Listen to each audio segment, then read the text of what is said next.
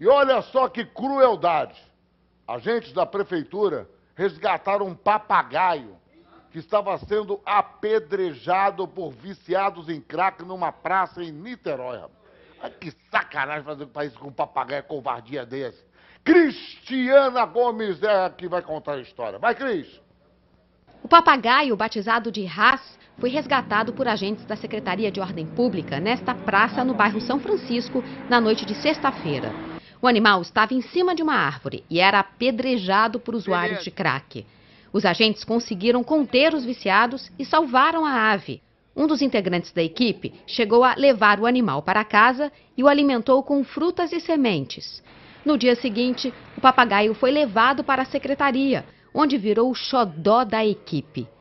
Papagaio parece ser domesticado e a maior preocupação agora é devolvê-lo ao dono, que ainda não apareceu. Aquele que se autoproclamar proprietário da ave deverá comparecer aqui e nós vamos utilizar de nossa expertise, de nossa experiência, para realmente saber se é proprietário ou não da ave, fazendo a averiguação sumária que tem, tem que ser feita aí, junto com moradores, vizinhos, para que o animal é, retorne ao lar, ao seu proprietário real.